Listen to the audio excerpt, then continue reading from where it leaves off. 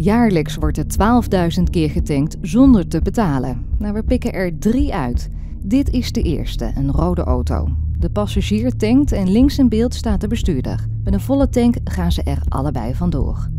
De tweede is een Volvo en de bestuurder, met stropdas, gooit op zijn gemak de tank vol met benzine, stapt later doodleuk weer in en rijdt weg. Bij de derde ruiken de medewerkers van het tankstation onraad. Dan lijkt het alsof hij toch wil gaan betalen. Hij koopt zelfs nog iets in de shop. Een trucje zo blijkt, want hij springt toch snel in de auto en gaat er dan ook vandoor. Wie zijn deze mensen op deze beelden? Tippen kan ook via de website, waar u ook alle beelden nog eens kunt bekijken. En u kunt deze zaak ook volgen op Facebook.